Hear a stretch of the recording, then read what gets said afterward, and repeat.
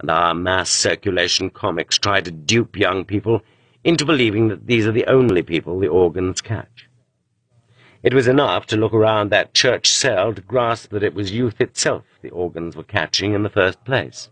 The war had ended, and we could allow ourselves the luxury of arresting everyone who had been singled out. They were no longer needed as soldiers. They said that in 1944 and 1945, a so-called Democratic Party had passed through the cells of the small Moscow province, Lubyanka. According to rumor, it had consisted of half a hundred boys, had its own statutes and its own membership cards.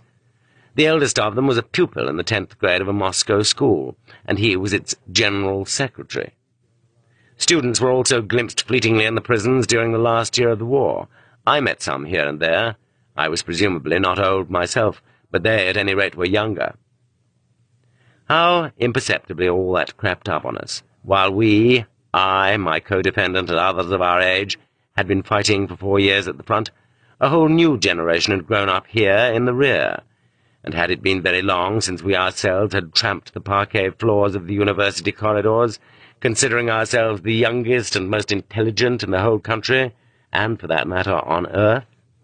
And then suddenly pale youths crossed the tile floors of the prison cells to approach us haughtily, and we learned with astonishment that we were no longer the youngest and most intelligent, they were. But I didn't take offence at this. At that point I was already happy to move over a bit to make room. I knew so very well their passion for arguing with everyone, for finding out everything. I understood their pride in having chosen a worthy lot, and in not regretting it.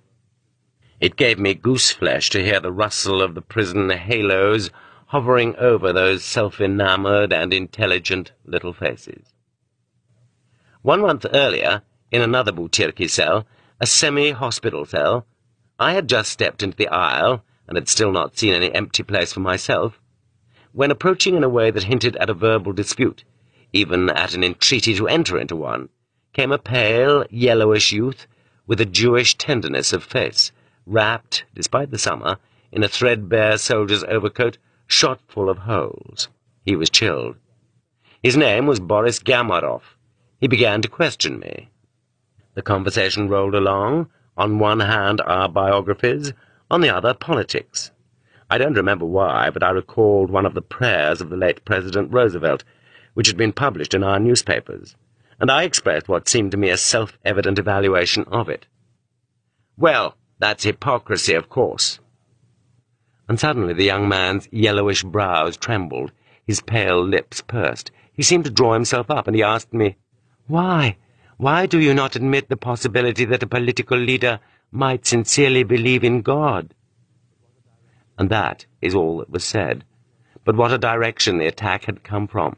To hear such words from someone born in 1923? I could have replied to him very firmly, but prison had already undermined my certainty, and the principal thing was that some kind of clean, pure feeling does live within us, existing apart from all our convictions. And right then it dawned upon me that I had not spoken out of conviction, but because the idea had been implanted in me from outside. And because of this I was unable to reply to him, and I merely asked him, Do you believe in God? Of course, he answered tranquilly. Of course. Of course. Yes. Yes. The Komsomols were flying ahead of the flock. Everywhere, but so far only the NKGB had noticed. Notwithstanding his youth, Boris Gamarov had not only fought as a sergeant in an anti-tank unit with those anti-tank 45s the soldiers had christened Farewell Motherland, he had also been wounded in the lungs, and the wound had not yet healed, and because of this TB had set in. Gamarov was given a medical discharge from the army and enrolled in the biology department of Moscow University. And thus two strands intertwined in him, one from his life as a soldier, and the other from the by no means foolish and by no means dead student's life at war's end. A circle formed of those who thought and reasoned about the future, even though no one had given them any instructions to do so and the experienced eye of the organs singled out three of them and pulled them in.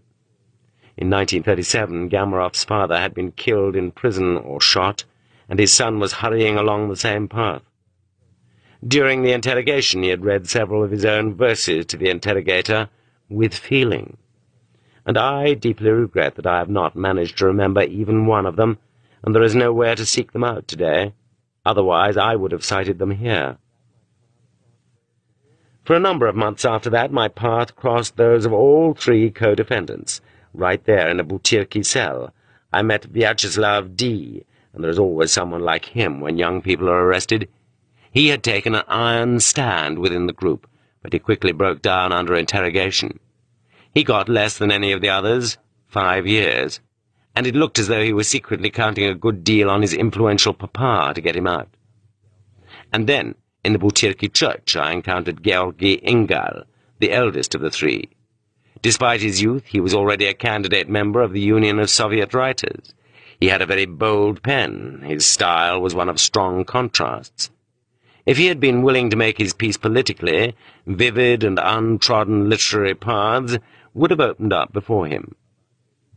He had already nearly finished a novel about Debussy, but his early success had not emasculated him, and at the funeral of his teacher, Yuri Tynyanov, he had made a speech declaring that Tynyanov had been persecuted, and by this means had assured himself of an eight-year term.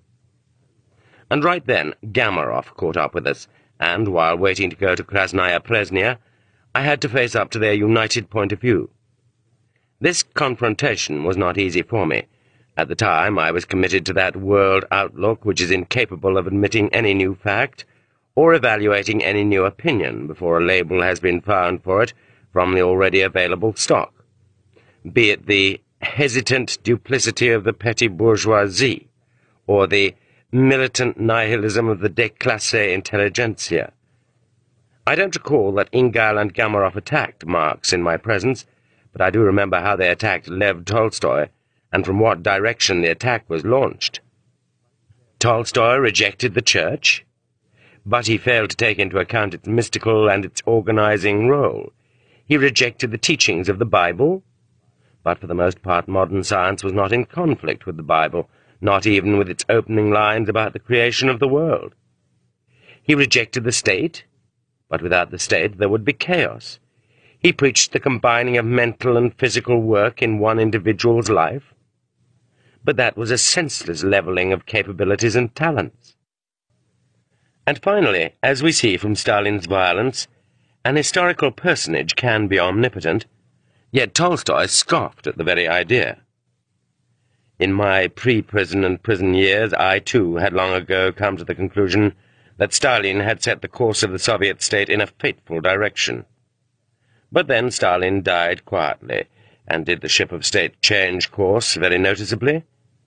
The personal, individual imprint he left on events consisted of dismal stupidity petty tyranny, self-glorification. And in all the rest he followed the beaten path exactly as it had been signposted, step by step. The boys read me their own verses and demanded mine in exchange, and I as yet had none. They read Pasternak particularly, whom they praised to the skies. I had once read My Sister Life, and hadn't liked it, considering it precious, abstruse, and very, very far from ordinary human paths. But they recited to me Lieutenant Schmidt's last speech at his trial, and it touched me deeply because it applied so to us.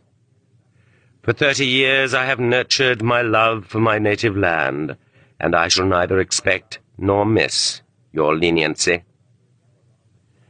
Gamarov and Ingal were just as shiningly attuned as that. We do not need your leniency. We are not languishing from imprisonment, we are proud of it. But who is really capable of not languishing? After a few months, Ingal's young wife renounced and abandoned him. Gamarov, because of his revolutionary inclinations, did not even have a sweetheart yet. Was it not here, in these prison cells, that the great truth dawned? The cell was constricted, but wasn't freedom even more constricted? Was it not our own people, tormented and deceived, that lay beside us there under the bunks and in the aisles? Not to arise with my whole land would have been harder still, and for the path that I have trod, I have no qualms at all.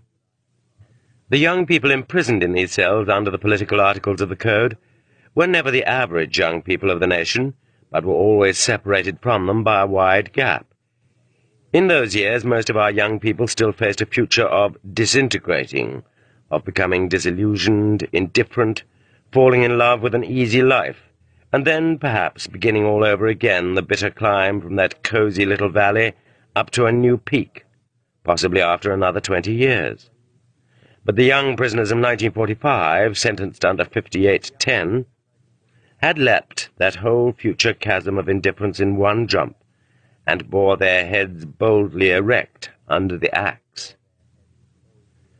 In the Butyrki church, the Moscow students, already sentenced, cut off and estranged from everything, wrote a song, and before twilight sang it in their uncertain voices.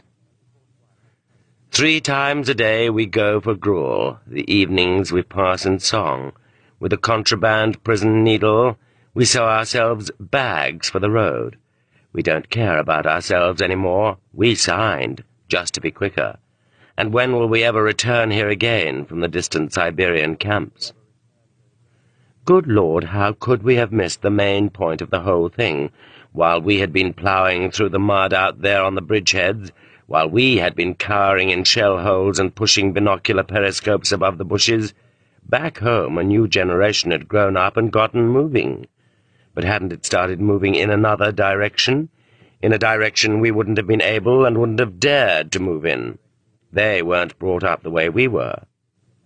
Our generation would return, having turned in its weapons, jingling its heroes' medals, proudly telling its combat stories. And our younger brothers would only look at us contemptuously. Oh, you stupid dolts!